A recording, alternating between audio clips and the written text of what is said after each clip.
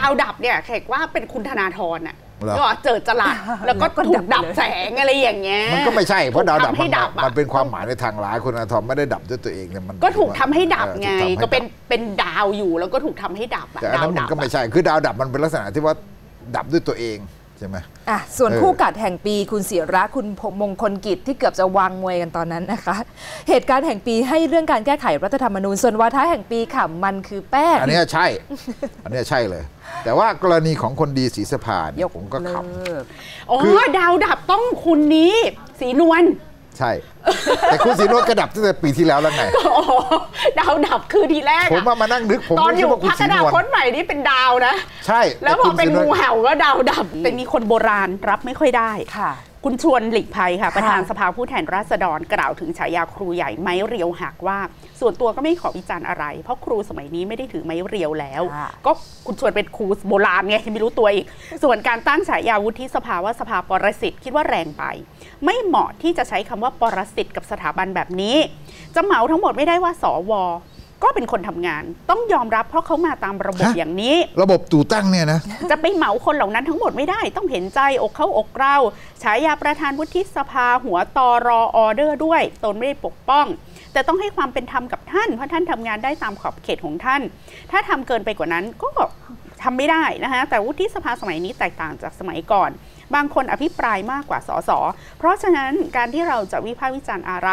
การที่เราไปตั้งสรรพนามเป็นลบมาก ๆ คนที่มีมารยาทอาจจะไม่โต้เถียงหรือยอมรับแต่ความจริงอกเขาอกเราก็ต้องเห็นใจ เราวิจารณ์การทำงานได้ แต่อย่าไปตั้งสรรพนามที่เป็นลบมากเกินไป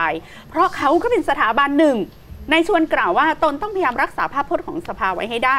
ข้างนอกเป็นอย่างไรก็ตาม แต่ข้างในต้องเคารพ กฎเกณฑ์กติกาต้องเคารพบทบาทของแต่ละฝ่ายในการปฏิบัติหน้าที่ไม่ก้าวล่วงกัน ผมว่าไม่ใช่ฮะคือคุณชวนเนี่ยปกป้องแบบนี้ไม่ได้ คือความชอบธรรมของวุฒิสภามันไม่มีตั้งแต่ต้นใช่ไหมฮะงั้นไอ้สิ่งที่ตั้งไปแรงๆยังไงเนี่ยประชาชนเขาก็โห่ร้องเขาก็ขำกันอยู่ดีอะเพราะว่าเออมันความที่ประชาชนไม่ได้เลือกมาใช่ไหมแล้วก็จริง ๆ ผมยังคิดว่าคำบรรยายของนักข่าวทำเนียบไปยังน้อยไปได้ซ้ำไป เพราะถ้าเราพูดถึงการขัดขวางการแก้รัฐธรรมนูญการอะไรต่างๆที่มันมาจากสวเนี่ยนะฮะคือมันมันเห็นชัดเลยอะใช่ไหมคืออันนี้คือประชาชนเนี่ยไม่ยอมรับอยู่แล้ว เนื่องจากว่าคุณแบบ คุณมาจากการแต่งตั้งมาเลือกนายกโดยที่ประชาชนไม่ได้เอ่อเนี่ยมีเสียงเท่ากับประชาชนครึ่งประเทศอย่างเงี้ยมันมันเป็นอะไรที่ผมไม่รู้ว่าคุณชวนแกเดือดร้อนแทนทำไม ภาพลักษณ์ไม่ดีค่ะเหรอค่ะ มันไม่เกี่ยวอะถ้าคุณชวนจะเถียง คุณชวนจะควรจะไปเถียงแทนสภาผู้แทนราษฎรว่า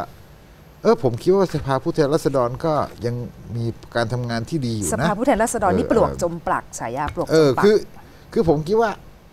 ผมถ้าเป็นผมพูดนะผมก็จะบอกว่า จริง ๆ สภาก็มีการทำงานที่ดีอยู่นะ มันก็ไม่ถึงขนาดว่าจมปลักขนาดนี้ แต่ว่า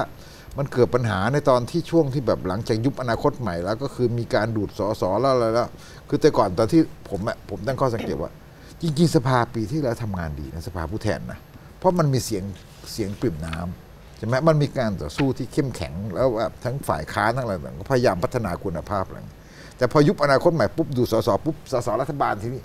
ไม่มาประชุมก็ได้ไม่อะไรก็ได้ไม่ต้องแยแสเลย เพราะาเรามีเสียงมากกว่ายังไงเราไม่แคร์อะไรแบบนี้ การเป็นการลักษณะของการผูกขาดอำนาจในสภามันก็เลยเกิดขึ้นไง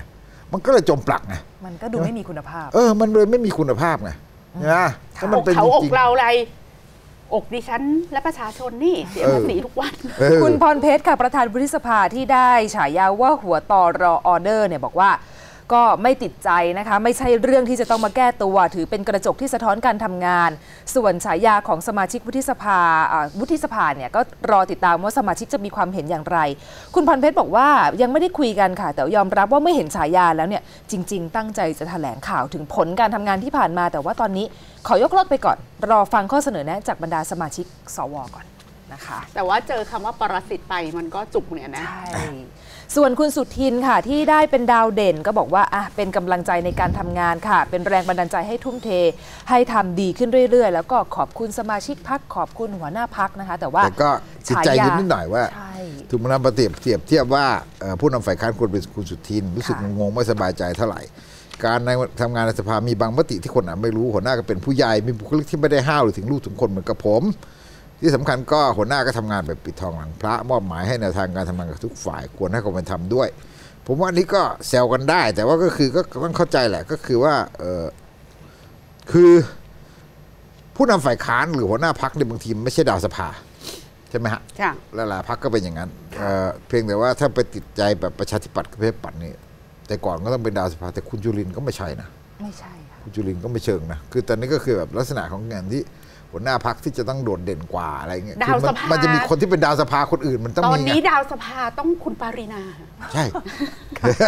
อะแต่ว่าสรุปสรุปเนี่ยฉายาของอารัฐสภาก็ปลวกจมอ่าสภาผู้แทนราษฎรคือปลวกจมปากวุฒิสภาคือสภาปรสิตคุณชวนก็รู้ไปแล้วนะคะครูใหญ่ไม้เรียวหาคุณพรเพชร หัวตอรอออเดอร์อ่า คุณสมพงษ์อมรวิวัฒน์ผู้นำฝ่ายค้านในสภาก็คือให้ฉายาคุณสมพงษ์ว่าคุณสุทินคลังแสง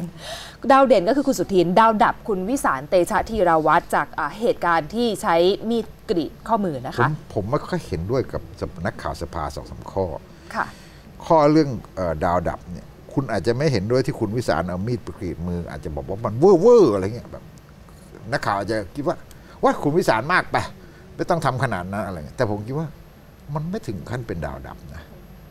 ดาวถ้าดับคุณควรบจะอกเป็ว่านดาวความดับหมายมันแบบควรจะเป็นคนมากอื่นกว่าที่มันคล้ายๆ กับว่ามันแย่มาก มันไม่ปกป้องเสรีภาพประชาชนไม่แขกมันว่าอะไรดาวดับมันเหมือนคนเคยเป็นดาวอะแล้วแบบอ๋อ performance ตกอะตกใช่ไหมไม่รู้ดาวดับอะมันต้องเป็นมันต้องเจอจรัสใช่ก่อนแล้วค่อยตกไง เออเพราะฉะนั้นผมไม่คิดว่าคุณวิสารไม่ได้เข้าขายนี่ดาวดับเนี่ยแขกว่าเป็นคุณธนาธรอะเหรอ ก็เจอจรัสแล้วก็ถูกดับแสงอะไรอย่างเงี้ยมันก็ไม่ใช่เพราะดาวดับถูกทำให้มันดับอะมันเป็นความหมายในทางร้ายคุณอาทรไม่ได้ดับด้วยตัวเองเนี่ยมันก็ถูกทำให้ดับเออไงถูทำให้ก็เป็นดับเป็นดาวอยู่แล้วก็ถูกทำให้ดับอะแต่อันดานั้วนมัดันบก็ไม่อะใช่คือดาวดับมันเป็นลักษณะที่ว่าดับด้วยตัวเองใช่ไหมอะส่วนเออคู่กัดแห่งปีคุณศิระคุณมงคลกิจที่เกือบจะวางมวยกันตอนนั้นนะคะ เหตุการณ์แห่งปีให้เรื่องการแก้ไขรัฐธรรมนูญส่วนวาทะแห่งปีค่ะมันคือแป้งอันเนี้ยใช่ อันเนี้ยใช่เลย แต่ว่ากรณีของคนดีศรีสภาเนี่ยผมก็ขเลิกอ๋คืออดาวดับต้องคุณนี้ สีนวลำใช่ แต่คุณสีโรจน์กระดับตั้งแต่ปีที่แล้วแล้วไงอ๋อดาวดับคือทีแรกผมอะว่ามานั่งนึกผมตอนไม่อคิดยู่ว่าคุณพักสีอนนาวลคตใหม่นี่เป็นดาวนะ ใช่แล้วพอคุณเป็นศรีโรงูจน์เห่าก็ดาวดับ กระดับตั้งแต่ปีที่แล้วแล้วคนไงดีศรีสภานี่ยกเลิกตำแหน่งนี้ถาวรไหม่ไม่คือมีอันคนเนี้ย ดีใช่ไหม ผมคิดว่า หรือว่ายังไง ก็ดีเราเพราะเราไม่ให้ค่าคนดีไง ใช่ มันไม่ควรมีตำแหน่งนี้ตั้งแต่แรกแล้วคืออะไรเออเออแต่ทีนี้คือความหมายของการพูดแบบนี้ว่า ยกเลิกถาวรคือมันเหมือนกับว่าคุณคิดว่ามันไม่มีคนดีแล้วใช่ไหมทีนี้ประเด็นของการตีความคำว่าคนดีคืออะไร ใช่ใช่ไหมฮะการตีความคำว่าคนดีคืออะไร ผมคิดว่า นักการเมืองที่ดีเนี่ยที่เป็นคนดีสีสภาเนี่ยมันไม่ได้แบบคุณคิดติดภาพของคนดีแบบไหน คนดีแบบชวน คนดีแบบอะไรอย่างนั้นเหรอ ผมมีความรู้สึกว่ามันไม่ใช่ไงมีมาตรฐานคนที่ทำงานดีเนี่ยมันมีเยอะนะค่ะ คนมันต้องเป็นเรื่องของคนทำงานดี แต่คุณคุณเอาไปคิด พอคุณไปคิดซ้อนกับว่า ดาวเด่นอะไรเงี้ยใช่ไหมแล้วกับคนดีคืออะไร นุ่งขาวห่มขาวมาประชุม เออ ซึ่งภาพลักษณ์แบบนั้นนะคุณจะไปคิดแบบนั้นไม่ได้ไงถือศีลกินเจคนดีไหว้สีเจ้าสแม่กวนภาอิมอะไรอะไรอเงี้ย่างยเอเงี้ยอคือมันไม่ใช่ไงก่อนมันเป็นก่อนอะไรที่มันติดมาคือถ้าคุณยกเลิก่กอนจะเนี่ยยกมืออภิปรายก็สวดมนต์ก่อนนะโมตัสสะพระคาวะโตอะไรอย่างเงี้ยเออแล้วค่อยอภิปรายนี่เป็นคนมันดีเป็นอย่างนั้นเหรอคนดีคือมันควรจะชี้แจงให้ชัดว่าเราเราคิดว่าคนดีแบบนี้ไม่มีละ ถ้าเราจะให้ตำแหน่งเนี่ยมันก็ต้องเป็นคนที่เขาทำงานและขยันขันแข็งเขามีบทบาทในการตรวจสอบในการปกป้องสื่อมวลชนในการอะไรต่างๆใช่ไหมฮะอันเนี้ยคือการทำหน้าที่ไงแต่ว่ามันคุณอาจจะมองว่ามันซ้ำกับดาวเด่นใช่ไหมทีนี้ไอ้คนดีที่เคยให้กันมาเนี่ยมันแบบมันเป็นคนดีแบบเก่าอย่างที่เราว่าค่ะค่ะใช่ไหมซึ่งถ้าคุณยกเลิกผมก็เห็นด้วย แต่คุณอธิบายคำว่าคนดีพอคุณบอกว่ายกเลิกตำแหน่งนิถาวรมันเหมือนกับคุณบอกประชาชนว่าโอ้ยมันสไม่ภามีมันไม่มีคคนนดีดีเลยแล้วไม่ใช่นะ มันไม่ใช่อย่างนั้นคนทำงานนะก็คือมันยังมีเป็นอยู่การที่คุณไปคุณให้ภาพอย่างเงี้ย พี่ถึงจะเอาอะไรกับนักข่าวไทยนักหนามันก็คิดใช่ว่าอย่างนี้แหละพี่คืน้อองคืออคือการบอกว่าปลวกจมปลักเนี่ยในภาพสภาที่ผมบอกว่า มันเป็นปลวกเมื่อถูกเมื่ออนาคตใหม่ถูกยุบพัก เมื่อคุณทำลายจนกระทั่งฝ่ายค้านเนี่ยไม่สามารถที่จะแบบว่าฝ่ายค้าฝ่ายรัฐบาลมีอำมีมีมีเสียงข้างมากแล้วแบบเขาไม่แยแสอะไรแล้วเขาผูกขาดสภาได้แล้ว มันก็เลยกลายเป็นปลวก แต่คุณให้ภาพแบบนี้มันทำเหมือนกับเออเหมือนกับเอ่อ นักการเมืองมีก็แต่แย่วนักนการเมืองเข้าจากสู่เลือกอีตั้งดอมีกแต่เดิแย่มก็คือต้งดิสรัฐเครดิตหานักการเมืองะไรไปค่ะมันไม่ดีไงค่ะอันนี้ฉันในมุมเจเนี้อยแล้วโซเชียลตั้งฉายาสื่อมวลชน 63เอ่อมติชนให้ชื่อว่ามติชินสินสมพรอ๋อเหรอโซอันเชียลนี้ไหนเป็นโซเชียลสลิมหรือเปล่าโซเชียลสลิมไว้ทีวีไว้ทีวีสื่อสารมวลม็อบ เออเออเขาอาจจะแน่นอนอ๋อก็สื่อสารแสดงว่าสดนี่เป็นได้สื่อโซเชียลสลิมแล้วล่ะเออเนชั่นเป็นเนฉายขายอุดมการณ์โอ้สลิมสลิมรายการคุณจอมขวัญถามเอียงเอียงๆเอ้ยถามตรงๆกลายเป็นถามเอียงเอียงๆกับจอมขวัญโอ้สลิมมาแต่ไกลเลยเวิอะร์กน้อยพอยสีรีบส้มรีบรีบตอบตอบรับเลยเฮ้นะยโซเชียลไอโอหรือว่าเออนี่เขาเขาเห็นเวิร์กพอยต์เป็นสีส้มแล้วเหรอ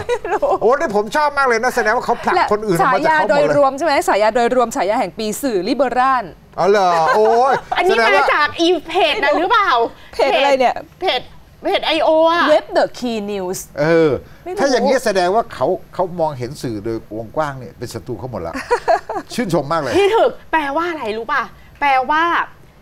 voice เนี่ย voice nation workpoint รายการถามตรงๆกับจอมขวัญมติชน มติชนเนี่ย คืออันเนี้ยแขกเหมือนได้สายสะพายเลยนะ ว่าเราคือสื่อประชาธิปไตยอ๋อเออเอออันเนี้ยเป็นการการันตีคุณภาพแสดงว่าเอาใบ certificate มาติดหน้าขอหน่อยเอาติดรั้วเลยนะแสดงว่าว่าฝ่ายเขาไม่ค่อยเหลือใครแล้ว ไม่ไม่ใช่พี่ถึก การที่เราถูกด่าจากฝั่ง I.O. เผด็จการว่าเป็นลิเบอร่าน่ะแปลว่าเราเนี่ยยืนหนึ่งในสากลโลกเออด้านการต่อสู้เพื่อประชาธิปไตยสุดยอดอันเนี้ยควรจะเอาไปติดหน้า ที่รั้วริมถนนวิภาวดี